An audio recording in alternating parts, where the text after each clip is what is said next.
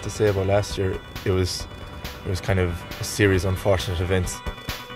I myself, I wasn't happy to commit a, a year of my life to something you know that you know I didn't feel I was going to get the rewards out of. There was no winner out of it, you know. Um, me personally, I just couldn't buy into the, the setup that was there. Stuff was far from 100%, and I, I just felt that I wasn't going to waste a year. Watching the county games during the summer, it was tough going. Things should have been sorted out long before they ever went to the field, you know, so it's hard to blame those guys, but it was never going to work out. Well, I suppose Donal came in in October, late October. He came in with the intention, basically, of you know starting fundamentals, getting our hurling right.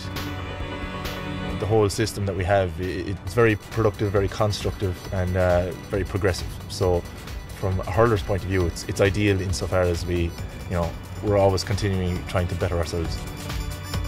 When you bring in someone as professional as Don and Jerry Wallace, I mean, they've just taken it to another level. I mean, we never had training like this. I never experienced any any inter-county setup like this anyway.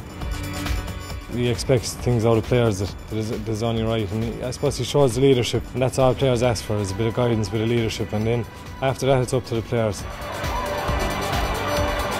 It's absolutely no disrespect to Division Two. It, it, it's also it's just the fact of life. The best teams are in Division One, and that's where you want to be. I think it's very important to, to bounce back straight away and I suppose to give the supporters something to, to look forward to next year.